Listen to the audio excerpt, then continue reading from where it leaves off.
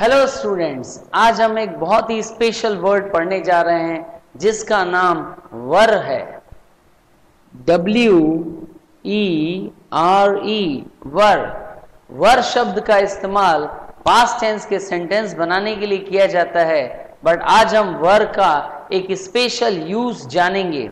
वर का इस्तेमाल हम इमेजिनेटिव सेंटेंसेस यानी कि कल्पनात्मक वाक्यों को बनाने में इस्तेमाल किया जाता है। कैसे? सबसे पहले हम स्ट्रक्चर जानेंगे। हमारा स्ट्रक्चर है if plus subject plus were plus other words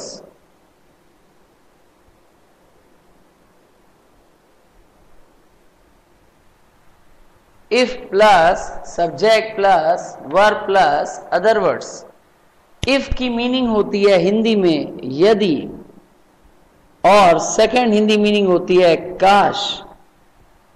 यदि मैं कहूँ, काश में चिड़िया होता तो इस तरह के सेंटेंसेस बनाने के लिए हम वर वर्ड का यूज़ करते हैं।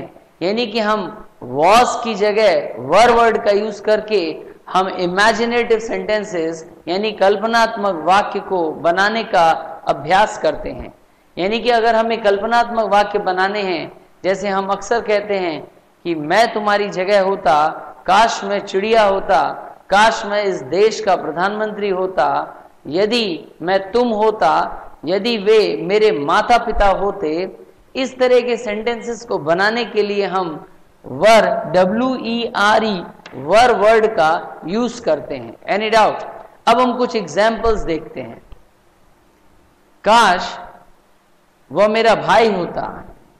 If he were my brother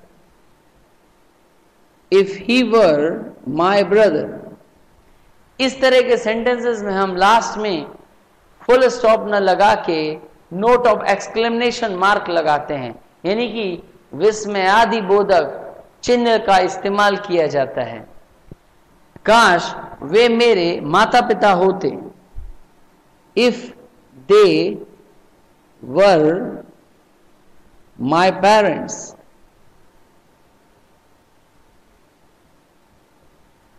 example number three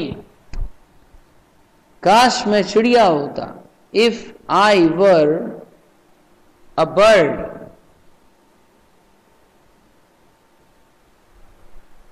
काश मैं इस देश का प्रधानमंत्री होता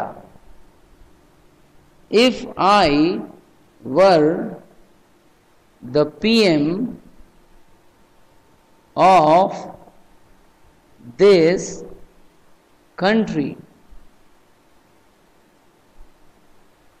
काश या यदि इन दोनों में से किसी भी एक शब्द का इस्तेमाल करके हम इस तरह के इमेजिनेटिव सेंटेंसेस का इस्तेमाल कर सकते हैं। आप बहुत सारे इमेजिनेटिव सेंटेंसेस का प्रयोग या वाक्य इस स्ट्रक्चर से आप बहुत ही सरल रूप से बना सकते हैं। यदि मैं तुम्हारी जगह होता if I were you if I were you यदि मैं तुम्हारी जगह होता, यदि मैं तुम होता, या यदि मैं तुम्हारी जगह होता, दोनों की इंग्लिश होती है इफ़ आई वर यू काश तुम एक पशु होते। If you were an animal काश तुम एक पशु होते। यदि वह किसान होता, काश वह किसान होता। If he were a farmer काश वह रानी होती। If she were a queen, काश मैं एक लड़की होता। If I were a girl, काश तुम एक पक्षी होते। If you were a bird. इसी सेंटेंस स्ट्रक्चर में हम थोड़ा और सुधार कर सकते हैं, या इसी सेंटेंस स्ट्रक्चर को हम थोड़ा और बढ़ा सकते हैं। कैसे? वो हम सीखते हैं।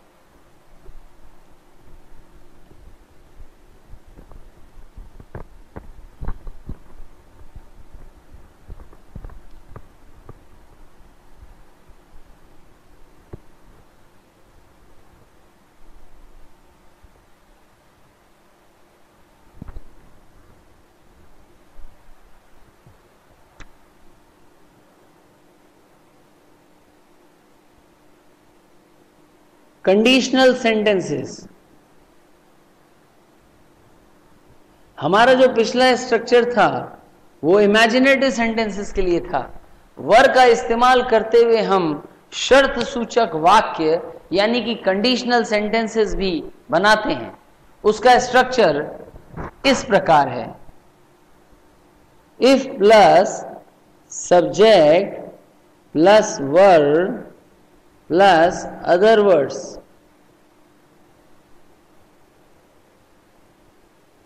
इसी स्ट्रक्चर को हम आगे बढ़ाते हैं। Subject plus would plus were first form were first form और उसके आगे हम ऑब्जेक्ट लिखते हैं प्लस ऑब्जेक्ट यानी कि subject plus would plus first form plus object right अगर हम अपना sentence if I were you से स्टार्ट करते हैं, यानी कि इसकी हिंदी होती है, यदि मैं तुम्हारी जगह होता, इसकी हिंदी होती है इफ़ आई वर यू यदि मैं तुम होता, यदि मैं तुम्हारी जगह होता करेक्ट तो मैं उसकी सहायता करता। If I were you I would help him यदि मैं तुम होता या तुम्हारी जगह होता, मैं उसकी सहायता करता। आई वुड हेल्प हिम इस तरह के सेंटेंसेस को हम वर से बनाते हैं। लेकिन अब ये जो सेंटेंसेस होते हैं, ये इमेजिनेटिव सेंटेंसेस ना होकर कंडीशनल सेंटेंसेस कहलाते हैं right these sentences are called conditional sentences now these sentences are not imaginative sentences means इसमें कंडीशन है, यानी शर्त है। कि यदि मैं तुम होता या यदि मैं तुम्हारी जगह होता तो मैं उसकी सहायता करता राइट right? यदि, काश मैं तुम्हारी जगह होता इफ़ आई वर यू मैं उसको दंडित करता I would punish him I would punish him यदि मैं तुम होता और यदि मैं तुम्हारी जगह होता तो मैं ऐसा नहीं कहता। I would not speak like this यदि मैं तुम होता या मैं तुम्हारी जगह होता तो मैं इस तरह से नहीं बोलता या मैं इस तरह से नहीं कहता। इस तरह के जब हमें वाक्य बनाने होते हैं, वर शब्द से यानी कंडीशनल वाक्य तो हम वर का वर्ड इस्तेमाल एक बार और करते हैं। राइट यदि मैं तुम्हारी जगह होता इफ़ आई वर यू तो मैं उसका प्रपोजल यानी मैं उसका प्रस्ताव स्वीकार कर लेता। I would accept his proposal मैं उसका प्रपोजल स्वीकार कर लेता। यदि मैं तुम्हारी जगह होता तो मैं जीत जाता। If I were you if I were you I would definitely मैं निश्चित रूप से जीत जाता। I would definitely win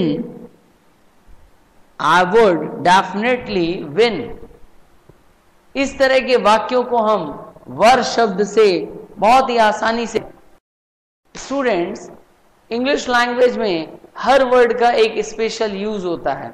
आज हमने सीखा कि हम वर शब्द से, यानी कि वर एक हेल्पिंग वर्ब से किस किस तरह के वाक्य बना सकते हैं। नॉर्मली अगर हम देखें तो वर वर्ड का यूज़ पास्ट टेंस के लिए किया जाता है। लेकिन आज हमने सीखा कि वर शब्द से हम इमेजिनेटिव सेंटेंसेस और कंडीशनल सेंटेंसेस कैसे बनाते हैं। आज के लिए इतना ही। Thank you my dear students thank you